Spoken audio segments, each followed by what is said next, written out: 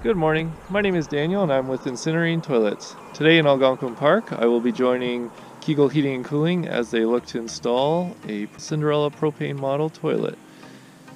I'm hoping this video will help you as you consider best practices and some things to watch out for as you look to install a propane model.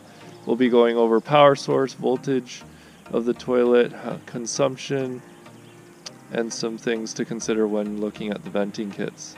So join along and uh, we'll see how we do with all these mosquitoes that were just born last night.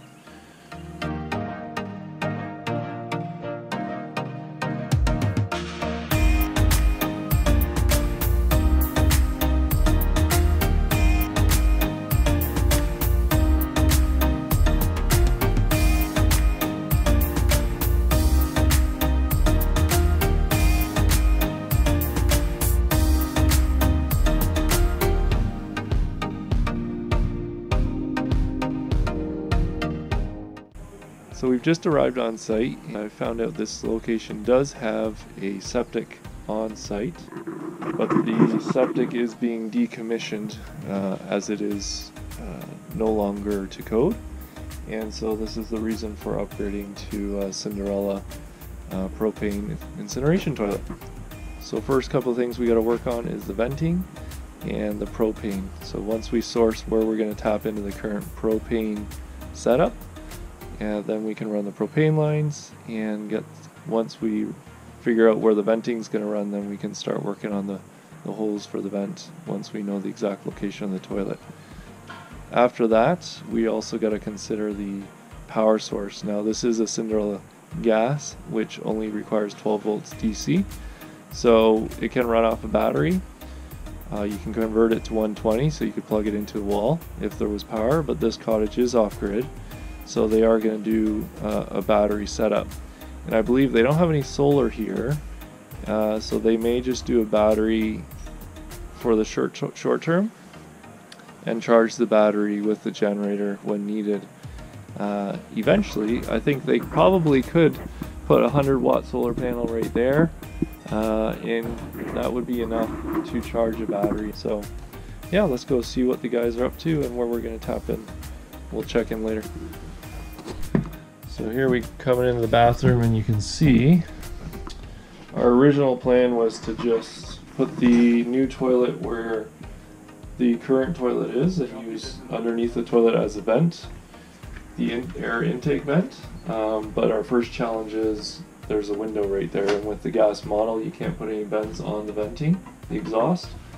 And so we're just confirming with the owner whether uh, there's a couple options. You can either go straight up behind here, or we have to move the toilet location, which would mean adjusting the where the sink is. So we're trying to decide what to do and go from there.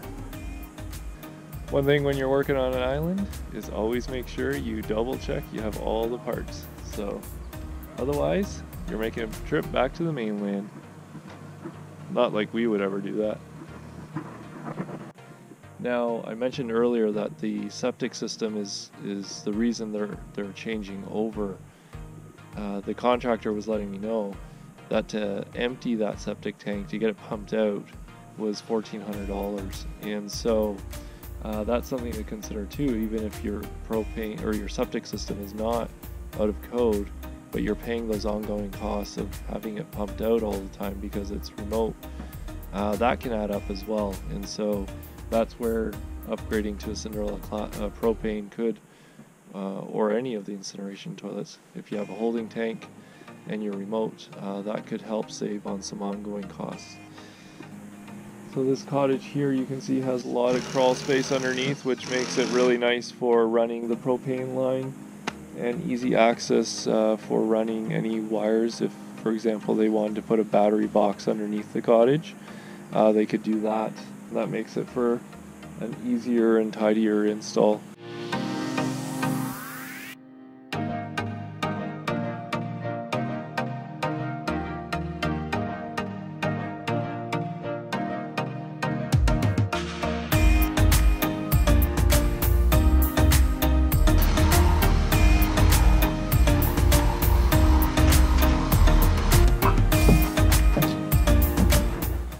Looking at your venting and assessing, as mentioned before, we got to go under the window in this case uh, because the owner does not want to move the sink. Um, now usually you might have a little space in the bathroom where you can move the, the shift the toilet to the right or left so you can miss any studs. Um, you know, if you were at the edge of the window, you'd have a double stud.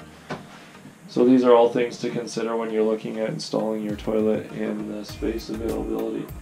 In this case, we're we don't have any other option but going through where the stud is, and so we're going to have to uh, do some modifications and make sure that it's all supported when we're done the job.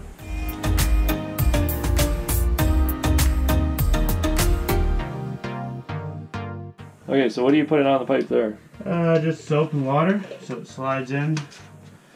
Slides in easily. You're right. We are in. So how far off do you have to leave it off the wall for the gas model? I like to leave it off about five inches for service. For service and getting your hand in behind, like if you're pulling it off and on the, the pipe, you can just get your hand in there and hold the pipe. And with this one, it has the gas valve and everything. Oh, right. Yes. I like to leave room for that. So if you were moving the toilet in place, like if you're doing the installation on your own, put the toilet where you want it. And uh, you can pop the front off here. And when you take the ashtray out, there's a, a spot here where you can put two screws attached to the floor. So if you're working here by yourself, you could place the toilet, fasten it to the floor, and then go on the outside and push the pipe in.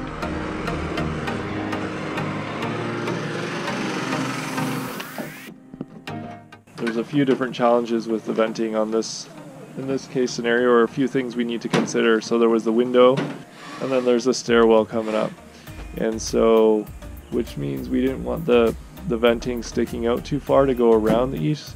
eaves. So in this case we're going to keep the venting in and just penetrate through the the overhang. That way it's not in the way of the stairs. At the end of the day it's going to look good. The owner can always build a box around it if he'd like and paint it brown. Blend in.